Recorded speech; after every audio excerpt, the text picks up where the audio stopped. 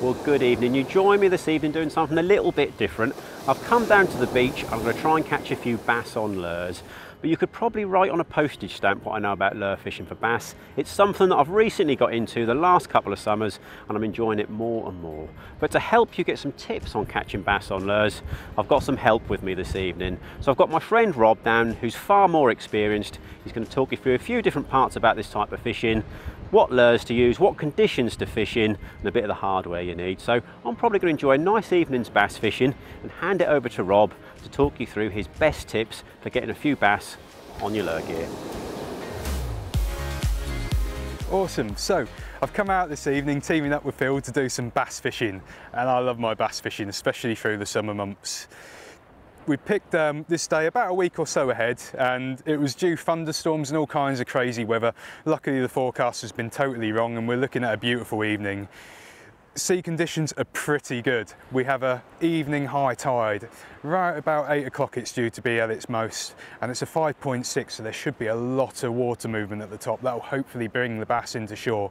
The only thing I would change is I like a little bit more surf and bounce. We have a crosswind coming slightly off the land and the sea's just a little bit flat but with the other conditions in mind, I'm fairly confident that we'll catch a fish or two when I'm fishing for bass in open water, especially on beaches like this, which don't have a lot of feature, the surf itself is the main targeting feature. And when it's bouncing and there's rough areas, there's often stranded fish and the bass can come quite close into shore. However, when it's a little bit flatter like this, they can often stay out a little bit more range and be a little bit more cautious.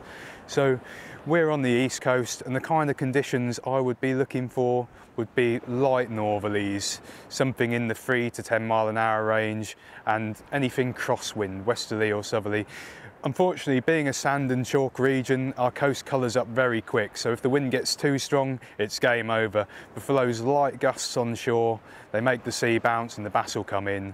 Southerlies can be fantastic, nice wind off the back, calm seas, but often you'll find your fishing tends to be better around the hours of dawn and dusk.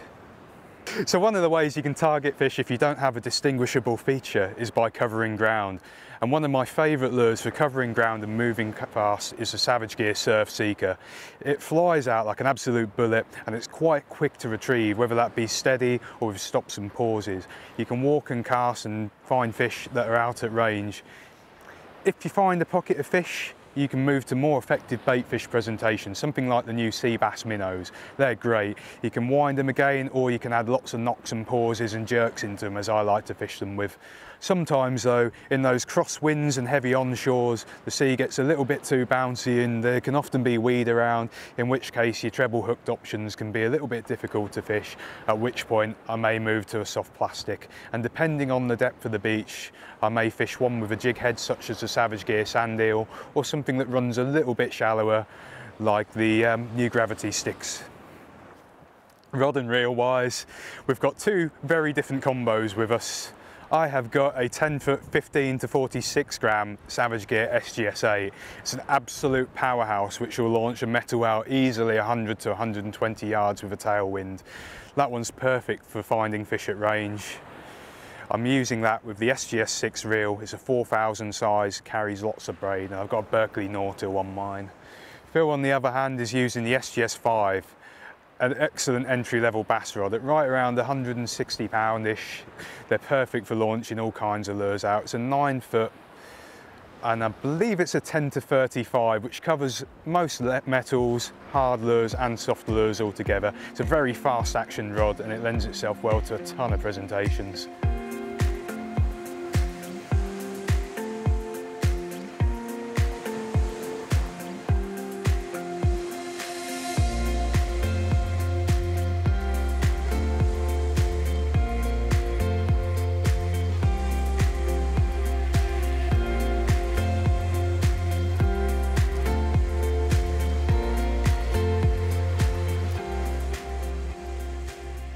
There we go. well, there you go. You did say to me we're now coming into prime bass time and make sure you've got your best lures on and well, there you go.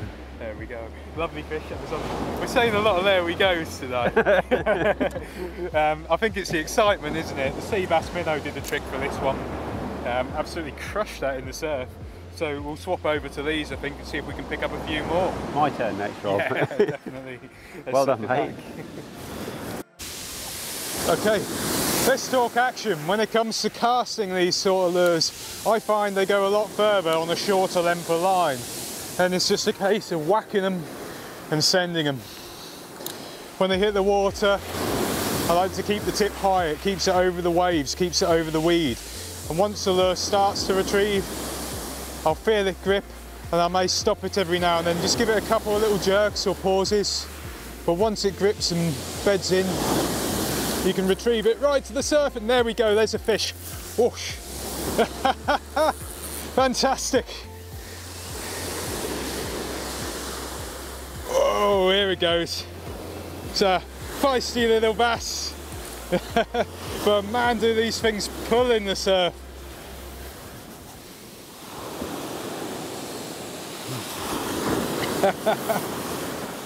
Find a little wave to bring this one up on.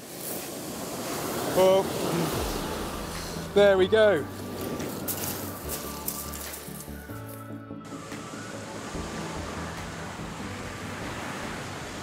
There we go, this little guy smashed that sea bass minnow on the way back in. The surf's really picked up now. As I say, with that high retrieve, keeping the line above the waves and the weed, this one absolutely crushed it. We'll slip it straight back.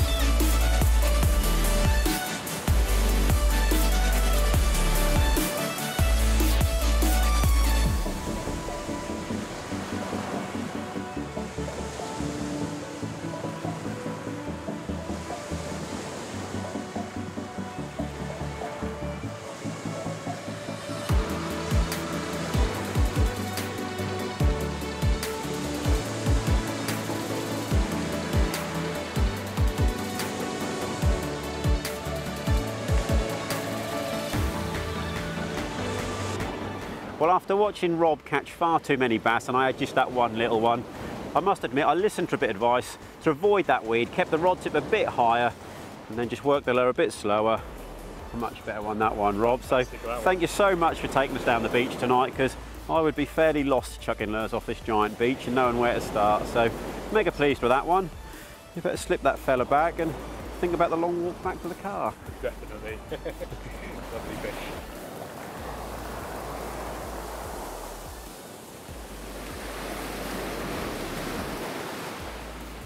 Go, bass, go.